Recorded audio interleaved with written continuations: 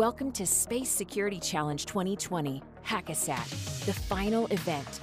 As the democratization of space opens up a new frontier for exploration and innovation, we see new cybersecurity vulnerabilities emerging. The Space Security Challenge is designed to inspire the world's top cybersecurity talent to develop the skills necessary to secure this last frontier of cybersecurity space. And already we've made a ton of progress. I'll catch you up. This spring, we hosted over 2,000 teams who worked their way through a set of foundational space cybersecurity challenges in our Hack-A-Sat qualification round. Now, eight finalist teams are stepping up to the ultimate challenge. They are hacking a satellite.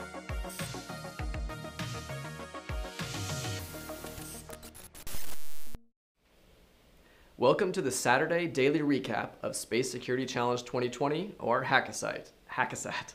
For the second to last time, I'm your host, Jordan Wines, and it's time to fill you in on how our competitors did on day two of this first of its kind satellite hacking competition. Okay, let's get right to the moment everyone's been waiting for. Here is our video to show which team was selected for the on-orbit challenge. Oh, oh um, uh, I'm, I'm sorry. Actually, it, it, uh, it appears that we're experiencing some technical difficulties. Um, yeah, I guess that means you're going to have to listen to the rest of this update, uh, and then we'll play the big reveal at the end instead. So let's take a look back at today's action.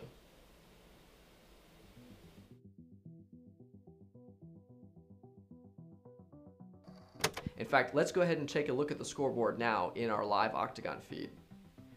And they definitely haven't slowed down you'll notice that SolarWine actually scored first blood on Challenge 3.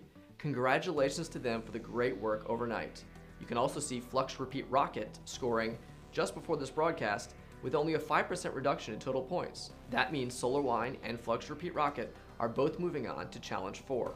While the score hasn't changed, we have had one important game milestone pass us by.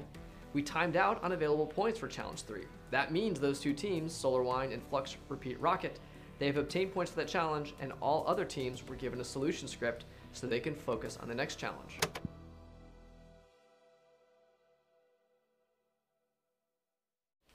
If you've been following along at home, you know that we sprung our on-orbit challenge on our teams yesterday. We had four teams submit their solutions by 4 p.m. Pacific, our deadline for evaluation for on-orbit, but only one was selected to have their code sent to the live satellite to capture a moonshot. We will learn who that lucky team is later on in the broadcast. While today's action started strong with several early scores, teams really struggled their way through Challenge 4 today. While the organizers knew it would be the hardest challenge, the hope was that it would be solved before this point. In fact, in the last hour of the competitions, some team had run so low on, on power that the organizers offered to take the flatsats offline so they could plug them into power. This would mean this would mean teams would be would have challenges in solving challenge 5, but hopefully it would give them enough power and time to solve challenge 4 in the last few minutes. Uh, given that, here is, the, here is our ex explanation for the challenge 4 solution. Challenge 4. Here's what we know. We've restored communication with the payload module, but we still can't operate it. The challenge? Now teams must restore normal operations of the payload module so we can access the imager. Here's how they do it. Teams discover that the payload module bootloader has been corrupted, which is why the payload module is not operating normally. The teams discover a system console to the payload module and the ability to access the payload module system console by controlling an undocumented GPIO and multiplexer on the CNDH board. The teams must write a custom flight software application that can control the GPIO and enable access to the payload system console. After writing the application, the teams must upload it to the CNDH and execute it. Once the teams have access to the system console, they will identify that it has been corrupted. The teams will need to research nominal KubOS bootloader configuration and repair the payload module's bootloader to resume proper operation of the payload module.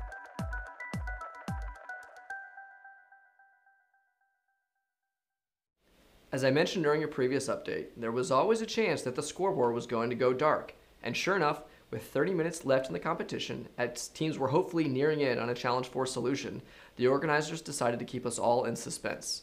Here's a look at our final scoreboard that everyone saw before it went dark. As we can tell, we had a couple of solves later on, but early was where most of the action happened. However, with our accepted and rejected on orbit status, we knew that there was two teams who would not be eligible for final prizes. We will make the final actual scores available tomorrow during the closing ceremony. Before you make your predictions on our podium winners, let's take a look at the final Challenge 5 to see what it was teams would have had to solve after they finished Challenge 4. Challenge 5. Here's what we know. We've done our best work, and it seems that we've regained control of the satellite. But how do we know for sure? The challenge? Teams must prove that we are fully in control of the satellite system by successfully imaging the moon.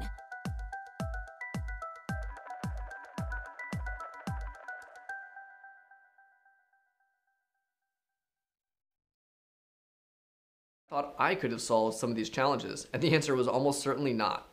I've got a lot of respect for the teams out there who made progress at all through this event, with a very difficult environment, very different to what many other CTFs have to do. There's a lot of extra constraints you have to worry about. For more information on that, let's do one last Q&A session with Jason Latimer to talk about how teams were approaching Challenge 4. Uh, let's see if we can get him in here. Jason, are, are, do you hear me? Yeah, I got you. Excellent, and I hear you as well. Uh, great. Uh, so uh, we're wrapped up. The game is over. Uh, I know from I, I, I, hopped into a couple of your calls and I was was listening to you guys describe some of the the approaches teams were taking on Challenge Four, uh, and I thought there's some really really interesting things that came out of that. I'd love to hear a little bit more from from your perspective. Yeah. So uh, the background on Challenge Four was that you know the teams had gotten past the implant that the adversary had put on the satellite, and that they were trying to use the payload, and quickly found that the payload wasn't functional. Um, so what the adversary had done was uh, corrupted the, the bootloader. And so they had to, you know, uncorrupt the bootloader.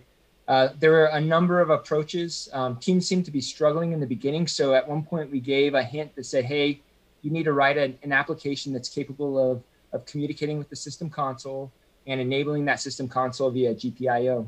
Uh, very quickly, uh, teams started uploading their custom CFS applications. Uh, some teams uh, we're just trying to enable the GPIO to control the system console based on other GPIOs that were already on the system. And they had done that successfully. And then uh, we had some unique uh, approaches where teams were trying to upload uh, applications that could do uh, like TFTP transfers to the device. So we had a number of different applications approaches yeah, I was, gonna, I was gonna say. So the, the the application that they're compiling was this like a, just a standard compiler they could use, or what sort of uh, inform, what sort of information about that environment that they have to have to build these custom applications? Yeah, so it's it's actually a little bit more complicated than that, and we we didn't want that to be the challenge behind the whole you know restoring the bootloader. So we actually did provide to the teams ahead of time the RTEMS build environment they would need to to build an application, and then we provided also uh, a set of example applications that they could use as a template for creating this this uh, application that would restore the bootloader on the payload. Um, there was still quite a bit of challenges there because there were specific peripherals that they'd have to be able to control. So um, talking to you know uh, specific uh, UART and uh, GPIO drivers to do that. So it was a, non-trivial. What, yeah, what did what did your solution look like? I mean, it just sort of like did it rebuild it, or how did how did your intended solution work on that?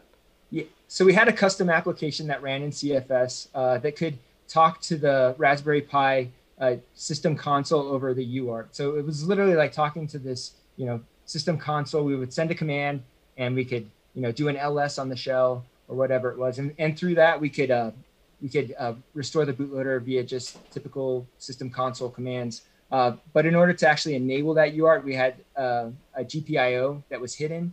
So uh, one of the challenges uh, for challenge four was actually looking through the FPGA uh, Verilog and VHDL code and finding that that actually existed. So we had gotten some feedback during quals that you know teams were really interested in doing that kind of documentation reverse engineering. So we we we went to a lot of effort to make sure that that existed. So to even identify that that was there, they were doing code inspections of the VHDL and the, and the Verilog for the FPGA.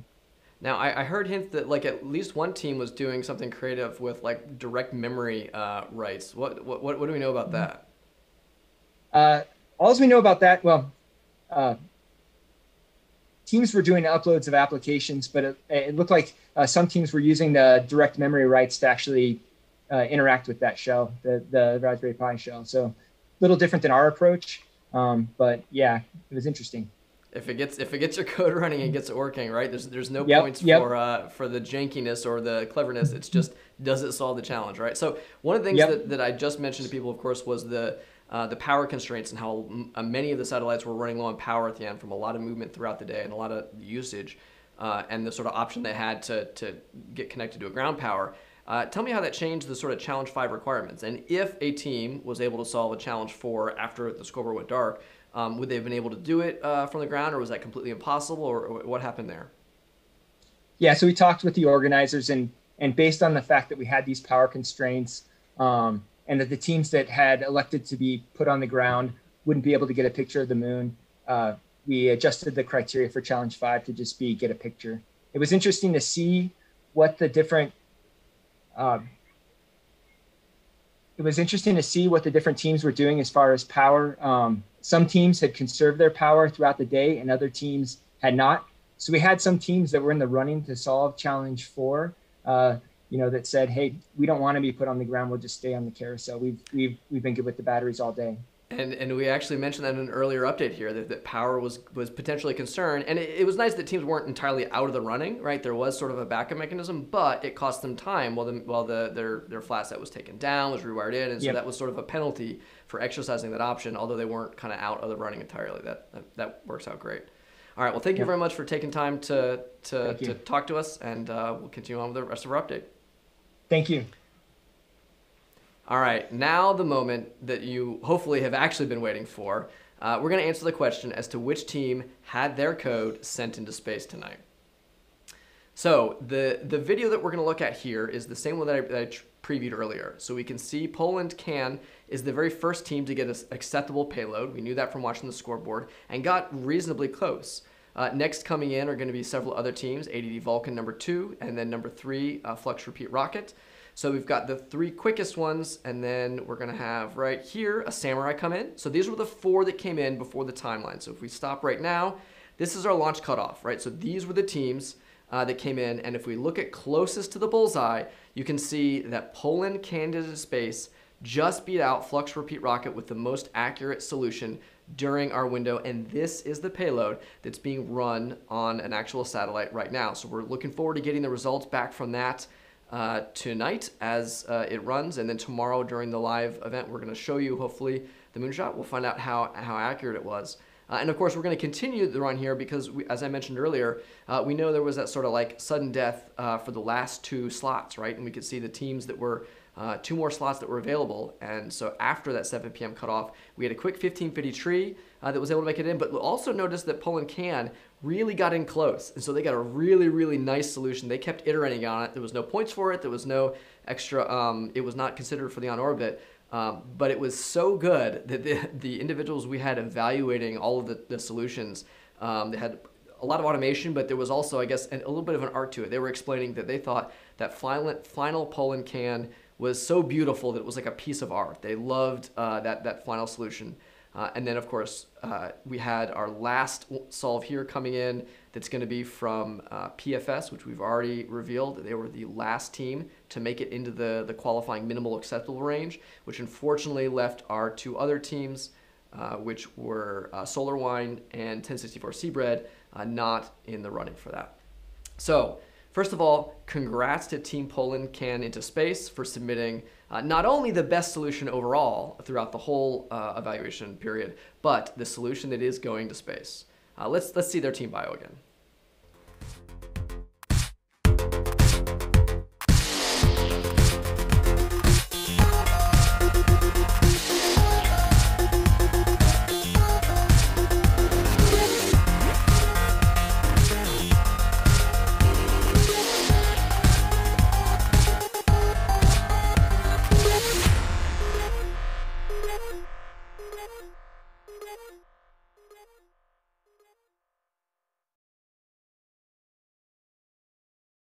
Into space, I can confirm that your commands were uplinked to our comms in our comms window earlier today.